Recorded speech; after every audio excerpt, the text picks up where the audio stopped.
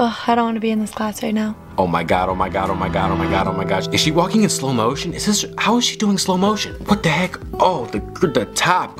Oh my gosh, it looks good. Holy crap. I, I'm ready to be a father. Holy crap, I'm trying to get down on one knee right now. Propose. Can I start a family? Please, I will wife her right now.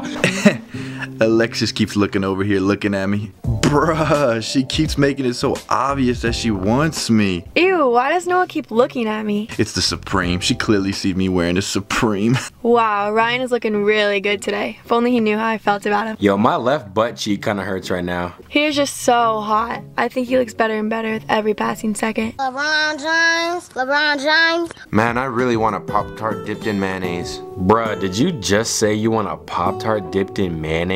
That's freaking disgusting, dude. You're Actually, Pop Tarts dipped in mayonnaise is like my favorite food.